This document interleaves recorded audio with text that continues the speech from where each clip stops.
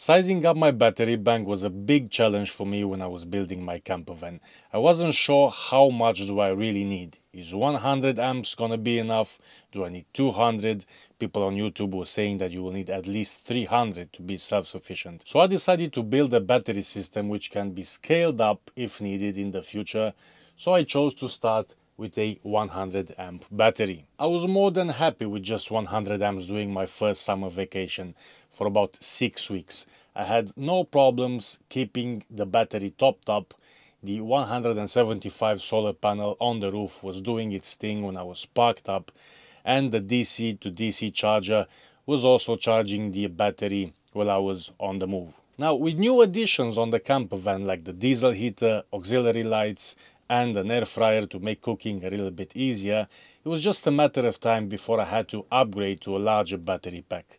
And with prices going down over the last few years, now you can actually get a 200 amp hour battery, just like this LiTime right here, for the same price that I've paid two years ago for a Renogy 100 amps. So I'm going to test out this battery, but not in the conventional way that people are doing it on YouTube.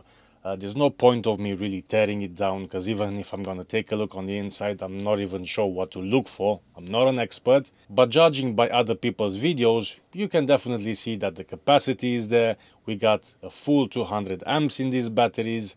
And if Will Prowse says that it's looking good on the inside, I'm gonna take that and I'm gonna trust it. So what I will do is to take it out on a weekend, run all my stuff from this battery and I will let you know how much I use from its capacity. And hopefully you can make a decision if 200 amps is enough for you.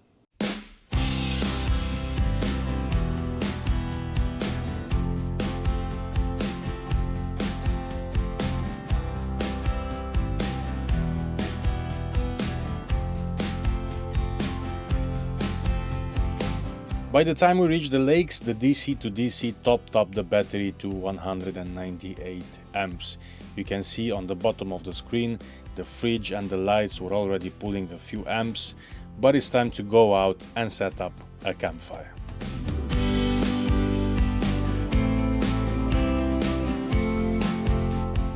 During that night, the diesel heater was running pretty much non-stop as it was cold and windy and by the next morning we were down to 178 amps.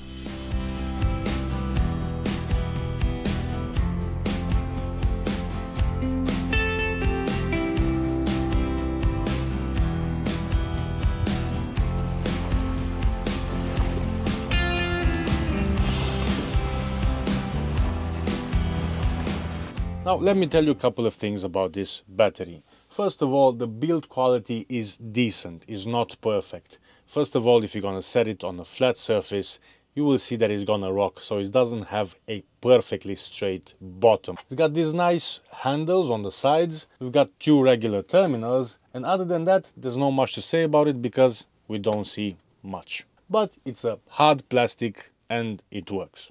Also Litime are claiming that this battery can provide up to 15,000 cycles, which depends on your actual depth of discharge, uh, right around 4,000 cycles at 100% depth of discharge. But usually you can probably expect a battery like this to last anywhere between 5 and 10 years depending of course how much are you gonna use it and discharge it. You can connect this battery in series and parallel which is great and this battery supports up to four identical batteries for up to a 48 volts 200 amps battery system in series and a 12 volts 800 amps system in parallel. It's got a built-in BMS to protect it from overcharge over discharge, over current and short circuits, but no low temperature cutoff protection, which means that if you will charge this battery and if it's going to be under zero degrees, you will probably damage the cells. Also, the maximum discharge current from this battery is 100 amps, which means that you can only use an inverter up to 1200 watts. Now that's not a problem for me because I only got a 1000 watt inverter, which is fine. But bear that in mind, you won't be able to use a 2000 watt inverter with this battery. As for the monitoring the state of charge, of this battery. Right now in the UK there is no available battery monitor, but you can use a shunt. I chose a Renogy monitor shunt for this test, but you can go a bit crazy to buy a Victron smart shunt so you can have all the information on your uh, smartphone. Setting up a shunt is relatively easy. All you have to do is connect the shunt between the battery negative and the system negative. Top up the battery before installing it, do the settings uh, on the shunt and you are pretty much ready to go. As for cooking, as I was saying, we are using an air fryer. Now the problem is that this air fryer is using about 1600 watts and it's gonna be too big to use from this battery. Anyway, I only got a 1000 watt inverter as, as I was saying. So instead we are using power from the uh, power station that we have under the bed to run this air fryer, which we will recharge from the LiTime after we are done cooking. So basically we are just borrowing uh, power from the uh, power station.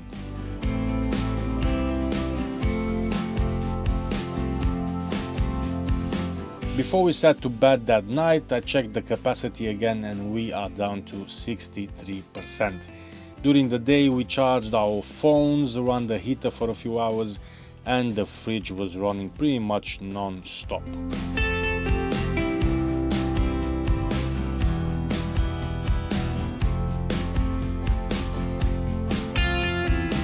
The next morning we were down to 55%, so about 110 amps still available after two nights and almost two full days of cooking, using the fridge, the water pump, lights, charging the phones and all the other stuff. All this time the solar panel was switched off, not that we had too much sun anyway, so we can really see how much current we are really using from this battery. Now obviously the biggest consumer from this van is the diesel heater. When it's blowing steady it will drain about 2 or 3 amps but at startup and shutdown it will go up to 12 or 13 amps for a minute or so. Now depending on how much you are turning it on or off this will be reflected of course on your power consumption. The fridge that I have is pretty economical, it's also using about 2 or 3 amps an hour but it was cold outside and that can influence how long the compressor is running for. Obviously on a hot summer's day the fridge will be running more. Now during the winter is just on start stop as it can quickly reach the desired temperature. Other consumers that I have are the lights, but probably both of them combined pulling a maximum of uh, 1 amp, so not a great deal. Uh, we did charge two phones, a flashlight, topped up our power bank, and we still had another 110 amps, which I consider it's decent enough for our needs. What you will see me do here is turning on the charging from the alternator of the van as I have a switch uh, located under the seat. Also, I will be charging the power station on my way back home so it will be ready to use uh, next time that we're gonna go out.